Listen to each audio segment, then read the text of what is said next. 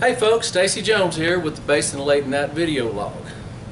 There's something I've been wanting to address, but first, I'd like to recap what happened on Customer Appreciation. We had the Ripper Poker Tournament.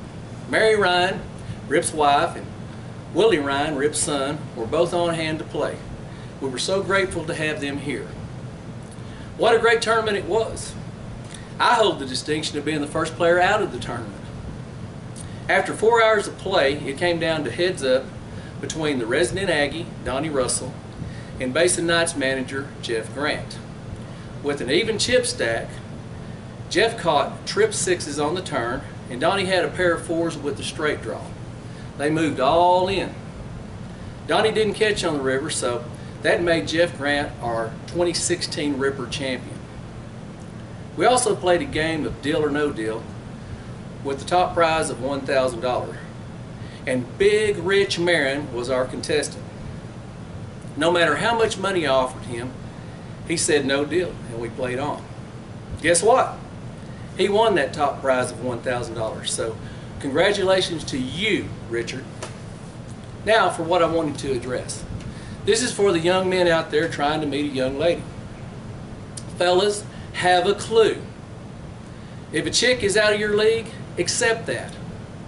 If the alcohol makes you suave and debonair, and you decide to take a chance and approach a young lady, and she says no to a dance, why do you feel the need to say something derogatory towards the young lady, such as, well, darling, you look fat in those jeans? Now, you see, fellas, all that does is let that girl and all of her friends know that you are a loser that the reason you're out trying to meet someone to dance with in the first place is because you're not capable of making a woman happy. It lets them know that your last woman broke your heart and now you're in a state of depression. That you have absolutely nothing to offer a beautiful young lady. That any future relationships you're in will be dysfunctional and ultimately end in misery. Oh, this poor guy needs a hug. But know this, that hot chick ain't going to be the one giving you a hug. Go visit your mama. She still loves you. And she'll hug you. My personal recommendation is the next time you ask a young lady to dance and she says no, just say thanks anyway.